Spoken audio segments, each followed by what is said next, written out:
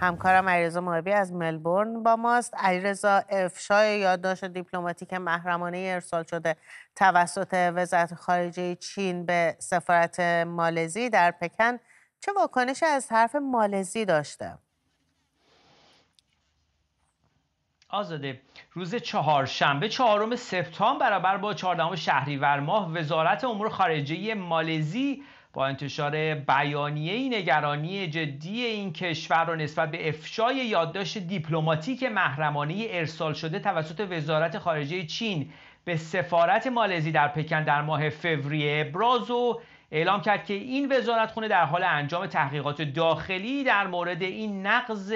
اطلاعات طبقه بندی شده است. بیانیه وزارت امور خارجه مالزی به مقاله خبرگزاری فیلیپینی د اینکویر اشاره داره که در تاریخ 29 اوت سال جاری میلادی منتشر شده و در اون گزارش آمده که چین در 18 فوریه سال جاری میلادی سند دو صفحه‌ای رو به سفارت مالزی در پکن ارسال کرده که در اون ادعا شده اکتشاف نفت و گاز توسط مالزی در دریای چین جنوبی حاکمیت حق حاکمیت چین رو نقض کرده. در این گزارش آمده که پکن از کوالالامپور خواسته تا فوراً تمام فعالیت‌هاش رو در منطقه دریایی نفتخیز در نزدیکی ایالت ساراواک در جزیره بورنو متوقف بکنه. در این گزارش چین مالزی رو به تجاوز به مناطق تحت پوشش خودش با نام ten-dash line متهم کرده. منطقه بحث برانگیزی که پکن ادعای حاکمیتش رو در دریای چین جنوبی داره. به علاوه اینکه چین نارضایتی خودش رو از فعالیت های اکتشاف نفت و گاز مالزی در نزدیکی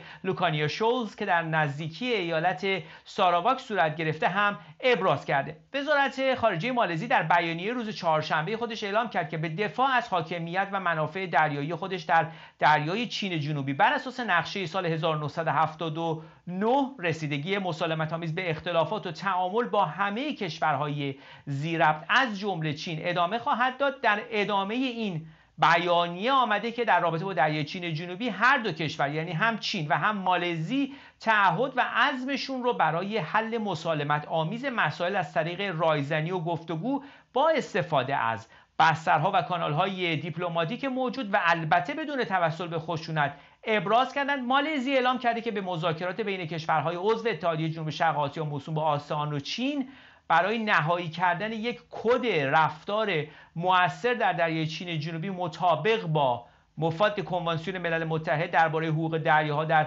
سال 1982 میلادی متحد انتقاد چین از فعالیت های نفت و گاز مالزی در دریای چین جنوبی در حالیه که آقای انور ابراهیم نخست وزیر مالزی سال گذشته گفت که پکن در مورد فعالیت های شرکت دولتی پتروناس مالزی ابراز نگرانی کرده و مالزی هم آماده یه مذاکره با چین در مورد اختلافات دریایی است شرکت دولتی پتروناس مالزی از میادین نفت و گاز در دریای چین جنوبی در منطقه اقتصادی انحصاری مالزی بهره برداری می‌کنه و در سالهای اخیر هم چندین برخورد با کشتی های چینی داشته. چین که ادعای مالکیت بر تقریبا کل دریای چین جنوبی رو که سالانه 3 تریلیون دلار تجارت از طریق اون انجام میشه داره و در مقابل ویتنام، برونئی، مالزی، فیلیپین و تایوان همگی با چین در مورد ادعای مالکیتش بر تقریبا کل دریای چین جنوبی اختلاف نظر دارند.